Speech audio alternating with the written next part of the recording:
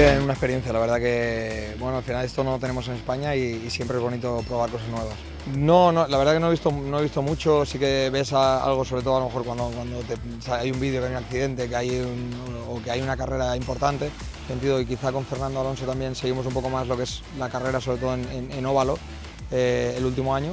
Eh, pero creo que es una experiencia, como te digo, viendo cómo, cómo conducen, viendo eh, a la velocidad que van, eh, tiene que ser una experiencia muy bonita ver una carrera en directo. Sí, sí, siempre. Al final cuando estás en una, pista así siempre te dan ganas de, de probar un poquito. Cuando estás con seguridad, en ese sentido siempre te dan ganas de probarlo.